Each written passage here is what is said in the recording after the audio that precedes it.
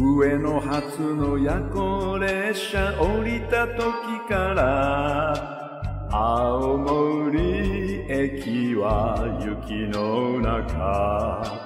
北へ帰る人の群れは誰も無口で海なりだけを聞いている。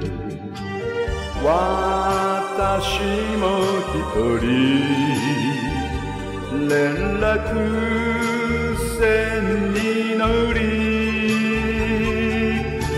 凍えそうなカモメ見つめ泣いていました。ああ津軽海峡冬景色。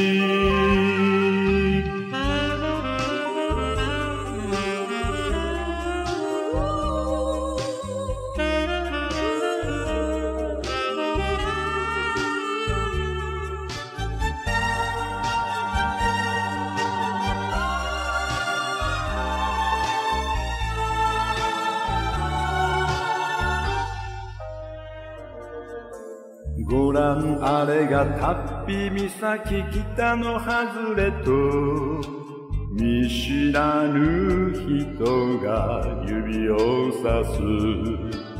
息で曇る窓のガラス拭いてみたけどはるかに霞見えるだけ。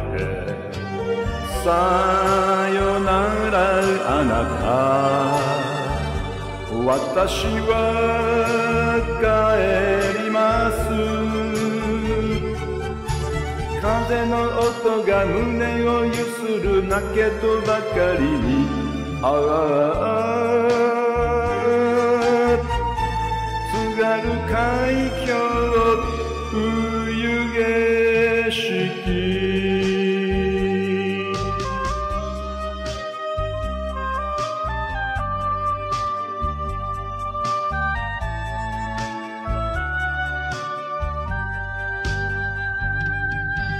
さよならあなた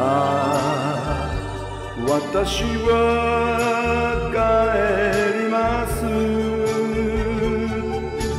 風の音が胸をゆする泣けとばかりにあああがる海峡冬景色